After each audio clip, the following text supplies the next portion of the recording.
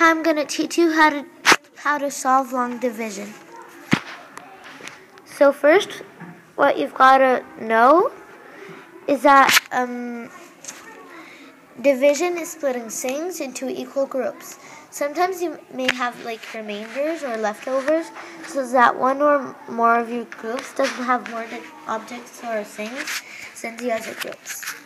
So I'm gonna like start was a not too hard but not too easy problem. So um, let's say 427 divided by uh, 3, for example. So, if you know your times tables, it would be easier because, look, 3 fits into 4 one time.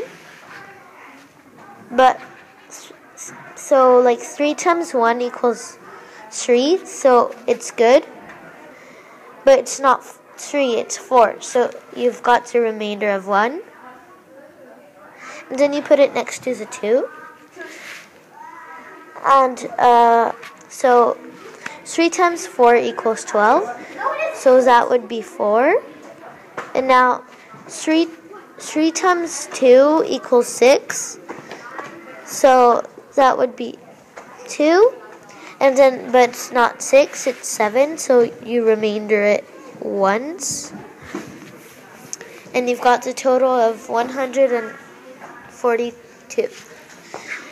Um, so, I hope it helped you understand how to solve long division, and I hope you enjoyed.